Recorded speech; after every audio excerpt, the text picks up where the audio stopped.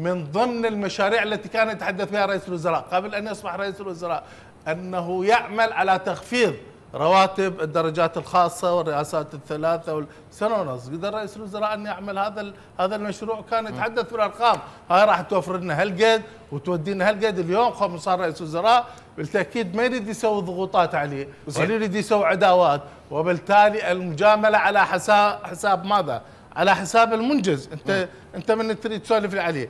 بعيدا هسه ما نريد أسولف؟ تدري حتى المشاريع اللي اليوم ال ال ال الشيء الوحيد اللي خابصين الأمة هاي الجيوش الإلكترونية والأموال التي ترصد للمواقع والبيجات والشخصيات يعني هو الكتاب يعني تصرف الحكومة على المواقع والبيجات طبعا 650 مليون شهريا 650 مليون شهريا أستاذ محمد كتاب سرب من هيئه كتاب من مكتب رئيس الوزراء أه. إلى هيئة البث والاتصال هاي وين وين. وين تنصرف ال 650 قصدك هاي الوثيقة اللي سربت قبل واضح فتره واضح. هي طبعا يعني هسه هسه النتيجه خاضي. واضحه يعني ما يبادله زين.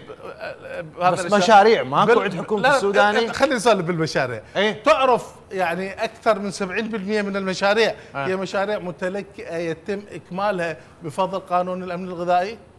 إيه. مو مي... نفذها لو ما نفذها مو السودان. بس لا لا تقول لي شو يعني أنا مسوي مستشفى 70% كامل. آه؟ تجي تسوي 30 تعتبره منجز علي؟ ليش مو منجز؟ للشخص اللي بدا بهذا العمل. والكثير من الأعمال اللي موجودة والله دعتك فقط قص قص الشريط.